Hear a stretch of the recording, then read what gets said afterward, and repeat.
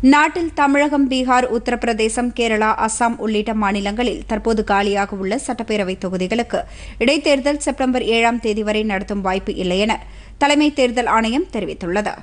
தமிழகத்தில் தற்போது சேப்பாக்கம் திருவல்லிக்கேணி திருவொற்றியூர் குடியாத்தம் ஆகிய மூன்று தொகுதிகள் காலியாக உள்ளன.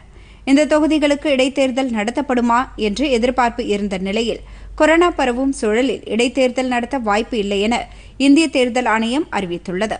இதுகுறித்து தேர்தல் ஆணையம் வெளியிட்டுள்ள அறிவிப்பில் வரும் செப்டம்பர் ஏழாம் தேதி வரை தேர்தல் நடத்தும் சூழல் இல்லை என்றும் கொரோனா பரவல் முழுவதுமாக குறைந்து சீரான பின்னரே தேர்தல் நடத்தப்படும் என்றும் தெரிவிக்கப்பட்டுள்ளது.